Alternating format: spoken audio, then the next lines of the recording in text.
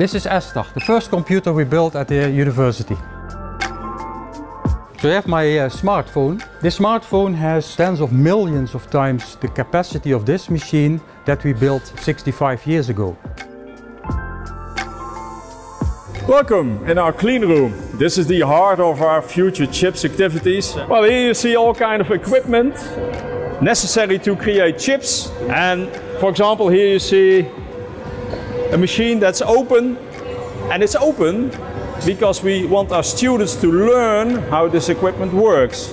We want our students to do research to improve these machines, which is required for the next steps in the chip industry. At Eindhoven University of Technology, for more than 50 years, we work on chip technology. We work on design, on materials, on equipment and processes. And we have been working very strongly with the region, with the companies in the region. So we really want to strengthen that position. Well, this is our scanner facility where we use special light, as you can see, and that's because we make very fine patterns on wafers. And, and this is an example of such a wafer, and this wafer has a lot of structures on it. And these structures, these small pieces, are at the end of the day chips. A wafer can include hundreds or even thousands of chips.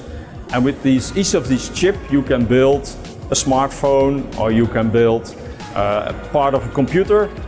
So you can make thousands of uh, applications from, uh, from one wafer. And we are really the chip university of the Netherlands in Europe. And not only electronic circuits on chips, but also 25 years ago already we started with using photons, light, to build chips. And nowadays it's really an emerging technology that will create the new big companies in 10, 20 years from now.